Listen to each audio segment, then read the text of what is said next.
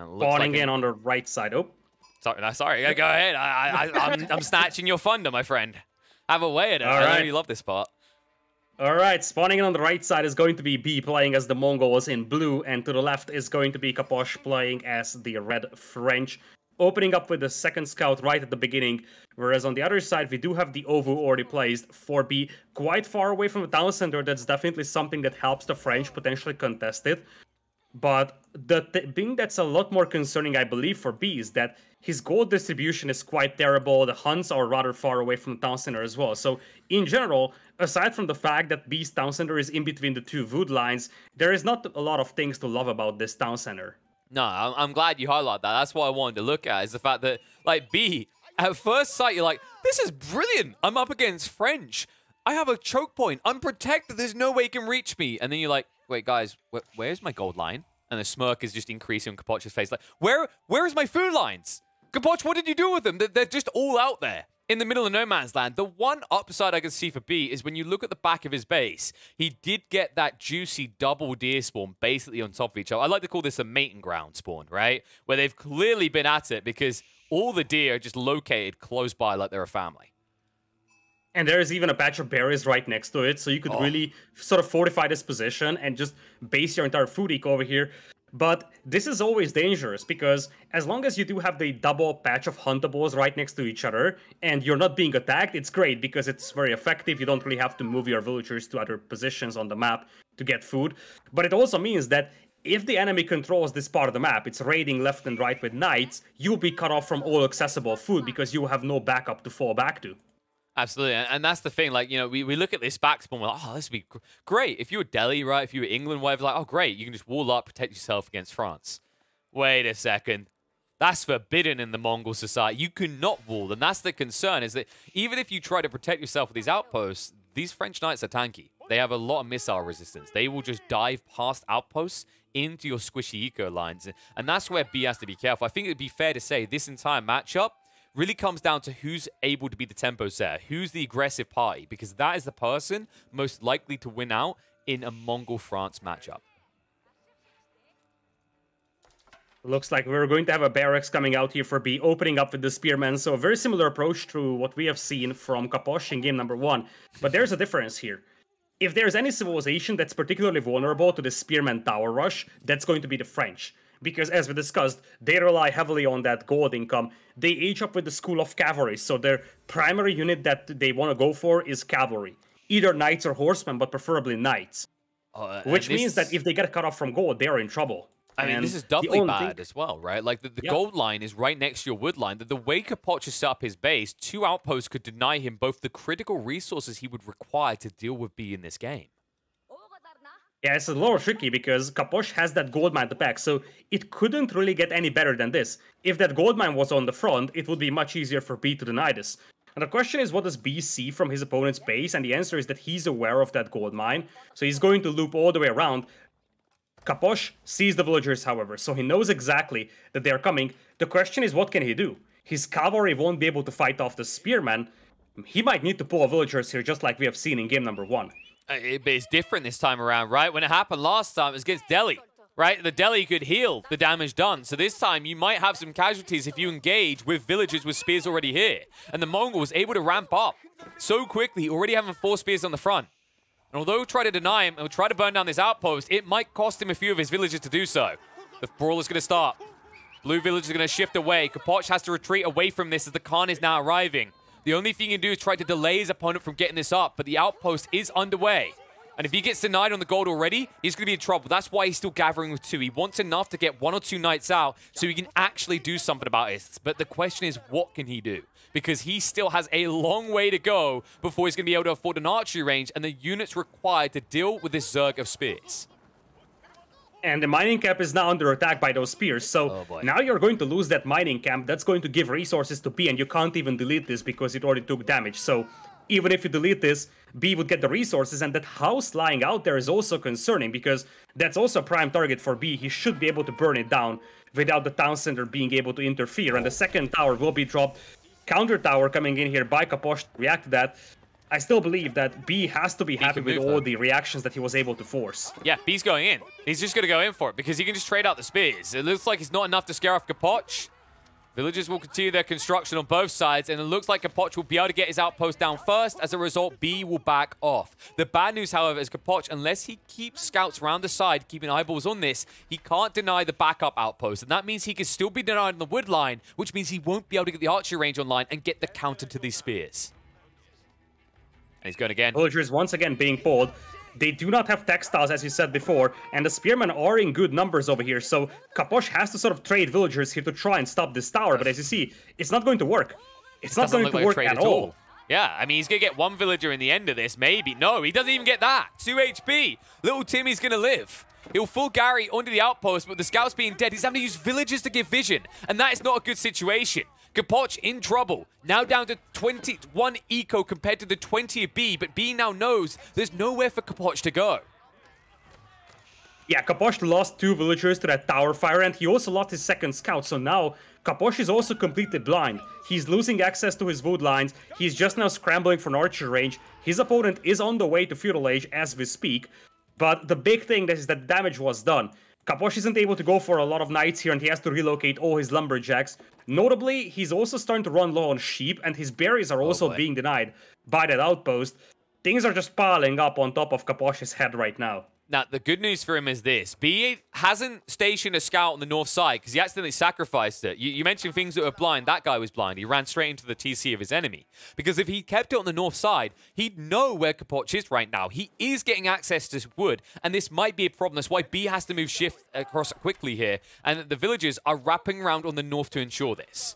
So if they're quick, they should be able to deny this, and it'll be good time as well because Bee has almost completed his own tech up into feudal. There's the first oh. knight coming out here from Kaposh to launch a counterattack. That's going to be a little annoying for Bee to deal with, but he's got some spears back at home. He's going to have the Yam speed network to work with. So he's going to be able to protect his uh, important resources on the right side. He's got defensive towers out there. I don't think Kaposh will be able to do much with one or two knights counterattacking. Oh. And he's starting to add archers, uh. but the Mongols can just add those a lot faster. Why add archers when you can just add outposts? He's doing it. And it's a distraction with the spears on the south side. He's going to find value from them, force him off of the wood line, and in the meantime, the outpost is still going on up of the north, and, and Kaposh doesn't know. He doesn't even know it's going to be there. So once these spears are gone, he might feel safe, but that is a fake sense of security, as he will quickly discover. And the villagers building it, one of them is just so heavily damaged here for Bee, but he, he was able to keep that alive for so long, and that's going to help making that tower happen a little faster. And now Kaposh is going to have a tough time accessing Vood over here. He's got the first couple of archers over here.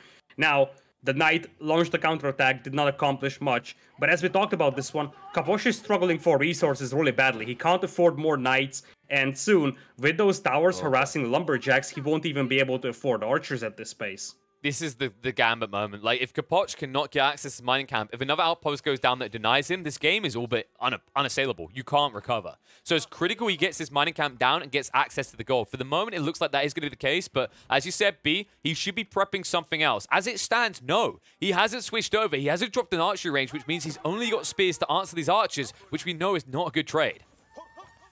Not at all and he feels a little overcommitted into this tower rush because he's gonna need something against those archers very soon. He's popping out some spears over here trying to pursue those, but once Kaposh is able to get a couple of knights out, suddenly that Ovoo could be very exposed, and with it the barracks as well, and there is still no additional production building right now for Bee. You gotta wonder what exactly his plan is, because you just don't see any more army added. Maybe he was thinking about trying to fast castle this, hoping that Kaposh was set back very heavily, but that is just a distant dream right now for him. I, it, it's a weird one, but there is still hope for Bee fans. Look at the outpost, it's going down. And Capoch, he's noticed it too late. He's going to shift away, but his goal line is going to be exposed. He doesn't see it. He doesn't have vision here. No scouts in play for Capoch because they were assassinated before and never replaced. It means he will be denied in the gold, and it means he's once again going to be in trouble. An opportunity maybe for Bee to recover. And look at that, Kaposh has to once again migrate to find another forest to chop trees at. And that's the only saving grace right now for Bee, because Bee didn't really have a lot of answers to what Kaposh was doing in the last one or two minutes, but as you said, a tower goes up on the gold mine, immediately popping out the arrow slits as well for Bee, and Kaposh is just mass migrating to the right side, to a point where soon he's going to be taking the opponent's resources because he's getting closer and closer with those wheels to the base of Bee. Yeah, he's trying to outdo the Mongols on their migration in this situation. Uh, and it has to be said, Bee, he hasn't left himself exposed at home, right? We mentioned he hasn't made a switch over. It's just Spearman as it stands, but he has at least protected his greed, right? Like, he's got outposts down near his Gers to make sure he can't be raided by the, the French cavalry. And he has got this double stable play. So there is something now for him to play into, and it means that with Capoch extending himself so wide, Horseman could just ruin this game for him. And a new outpost is going down again. And he once again doesn't see it. This is all hidden every time. Bee, just understanding vision to the maximum, is once again getting an outpost down successfully. Or is he? Knight? Look oh, at that. no! The Knight! He's pulling away. He's pulling away the Knight with the Khan. That was such a great idea from him. Oh, but it looks like it's enough to scare him off. Bee, he has to back away. He's not able to get the outpost up in the end. And as a result, he will deny, and the Khan is going to go down as well. There are still a lot of archers out in the field, and Bee does need to get these horsemen online finally. Feels like they should have been coming a little bit sooner. His greed may have hurt him, because now he's in an awkward transition. With the triple pasture drop, you understand that he's draining resources too fast. It's almost like he thought this game was going to be over by now. Yeah, he doesn't have food. And it's a little surprising to me that he's not even taking those hunts. I mean, of course, there is some pressure coming from Kaposh, but those hunts are still rather accessible. And the thing is that he needs to amp up this pressure right now. He needs to leverage the advantage that he has gotten. Because Kaposh is slowly recovering, and suddenly those archers are marching towards that very exposed gold mine over here. Oh boy, we're a ram as well. Garrison's going to come out. I'll scare away the archers, and now the horsemen can reveal themselves. And that is a lot of investment in an archer force, which should instantly just die to a few horsemen. That might be the case. They'll chase in Yam movement speed there to make sure they gap close quickly, and the villagers will address the ram. More spearmen also coming out to make sure that Bee has somewhat of a composition to deal with the knights. While the horsemen will stick on top of the archers. And the vanguard of villagers will get through the ram. Now he needs to address the knights arriving. The problem is with only one or two spears, it's too easy for the remaining archers to clean them up. And it means that Bee is going to have to back away from this because soon he's going to lose all the horses.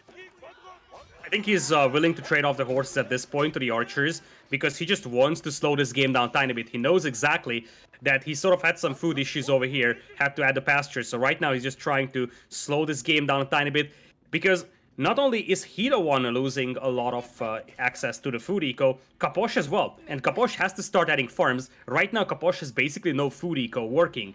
And that's going to slow down the production of the knights quite considerably. And there is enough spears for Bee to hold off the knights if there isn't really a lot of archers to fight them. Nah, uh, speaking of those knights, a few pokes of the sticks will scare them away. It's really hard to actually min-max this as well. I mean, this is the impressive nature of Yam movement speed. 1.44 movement speed on these spearmen. And that's without the charge factor. It means you always have to be looking at your knights, or in the blink of an eye, you can all of a sudden just lose your French knight battalion. Indeed, and let's not forget that Kaposh's gold mine here is very exposed. So the moment that Bee is able to launch a counterattack, suddenly things could get very ugly oh. for uh, Kaposh over there. Knights are launching a counterattack, not enough space for all those villagers to fit into that tower, but you got the Yam speed network, so they can escape from the Knights really fast and the Spearman can catch up very easily, so you see, with that Yam speed boost for Bee, and of course the vision provided by the towers, he's able to see those knights and react them. Just look at the vision he has for a moment across the map. Yeah, he, he's just oppressing his opponent, right? He's able to react before Capoch can do anything. And Capoch, I was going to say this, has finally dropped an outpost at that gold vein. This was so risky. Finally, he has some layer of protection, but I'm not sure how good it's going to be. There's not enough room here for all the villagers. And once Bee sees them, he just licks his lips. He's like, oh my, licks lips, shakes the hips, and jumps straight in. He'll go straight onto the villager line. He's trying to body block him with the knights to best of his ability to allow the villagers to get away safely, but it's difficult. And he's trying to rush more outposts. This is his mistake. So many French players do this. They get greedy, and instead of preemptively having protection in place, they have to position it after their opponents arrive, and it's going to be a massacre. There's so many villages here and nowhere for them to run, and Capoch, slow to shift them away, means he's going to take heavy casualties on the retreat. This is the only place where Kaposh is getting food from. He has to fight this one with oh the villagers because he can't afford to lose that food line. He can't afford to lose those farms. That's his entire economy on this screen right now. He's lost everything. The knights are dead. Only one remaining. As you said, he can't access the farms and he needs the wood to build more farms. This might be it. Khan is going to go down again. Bee just parting a little bit too hard, but what does he care? Similar to game one, he will throw bodies at the equation and come out ahead as he will win out on Dry Arabia. What a crazy game over here. It really felt like Bee sort of hit a roadblock at like the middle of the game. His tower rush went well at the beginning. He was able to force Kaposh off on the resources, and his reactions were very nice. Kaposh tried to pull villagers. He was able to save his forward villagers all the time. Kaposh wasn't able to take down those initial towers, but then Bee just hit sort of a roadblock over here. He ran out of food, and for a moment it seemed like Kaposh is just going to grind him down, but then Kaposh himself also ran out of food. And ultimately, what mattered for Kaposh is that he never really was able to clean up any of those towers that were built next to his base. So he always was just on the move, forced to fight for every bit of a resource that he wanted to grab. I mean, that that is the weird part about what you saw be done. I think there's to be a lot of people that look to this and like,